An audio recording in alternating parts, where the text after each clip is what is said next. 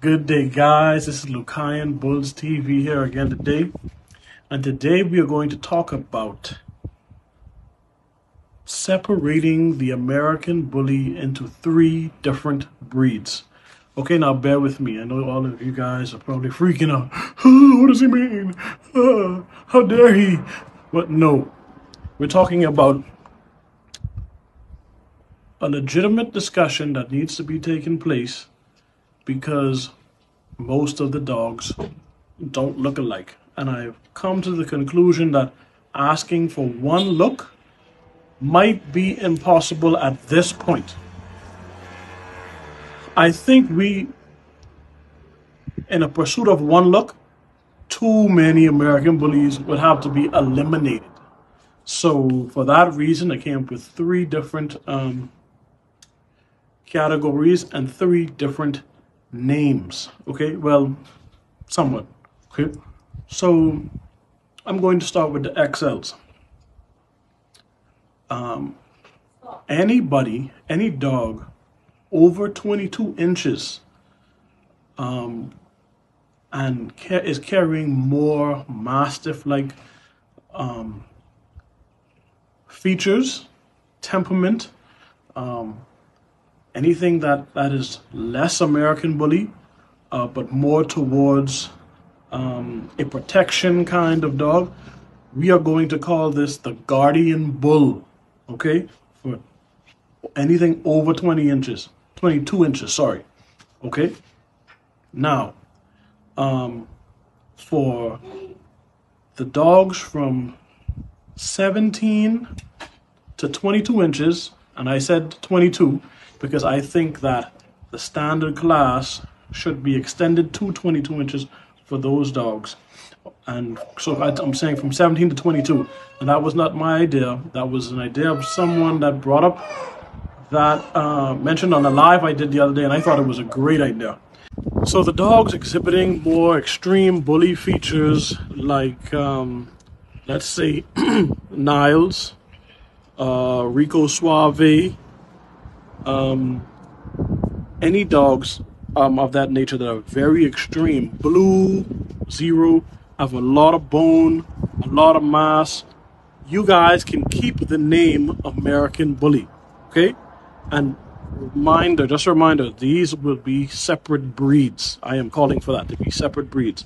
Also, going back to that to the um the Guardian Bull for those dogs that are over 22, um, I'm referring to examples like um, Dark Dynasties, The Hulk, and Pro Bulls. Any any ex any dog in that class, uh, especially like Pro Bulls. I know Pro Bulls produces a lot of dogs that are 24 inches in height and bigger. Um, so now going back to this class, um, you can keep the name the American Bully. Okay, and that class will go from 17 to 22 inches. Okay, and that also applies to their pockets as well. The extreme features, those dogs that particular size and mass. Okay, but now for dogs like the ones that I like, like uh, Remus, Omega, John Wayne, dogs that uh, ABKC doesn't really want per se, or they don't have room for in that classic class. Let's just call those classic American bullies. And that is the only time I'm going to use the term classic is if they are willing to separate them as a different breed. Okay? And that will also be um, applied to pockets. Dogs with that same body frame, not as much bone or as much bully features. Let's call them classic. They will have a pocket class and a standard class, but the standard class goes from 17 to 22. Now, remember, the standard is supposed to be something that is achievable. Okay? Something that can be replicated over and over. It's not supposed to be where um, you're getting one out of every litter because what you're doing is actually promoting anomalies, promoting bad practices, which is actually um,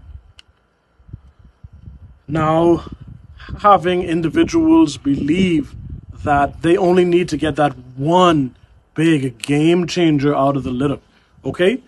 The breed needs to be about consistency on the whole. So that is why um, I feel like um, the, it, it needs to be achievable. I heard some people saying that um, it's too easy to create classics, but hey, I mean, it makes sense. It should be done. Okay, uh, we're not looking for freaks here, um, especially freaks that can't replicate themselves, which we know usually they can't. So, um, tell me what you think about this, guys. Um, all comments are welcome. All criticism is welcome. Um, but that is something that I've also been thinking about for a while because the one look at this point I think is just going to be impossible unless we were to completely start over. Okay? But um, thank you guys for watching today um, and every Thursday. Um, we appreciate you. You guys helping the channel to grow.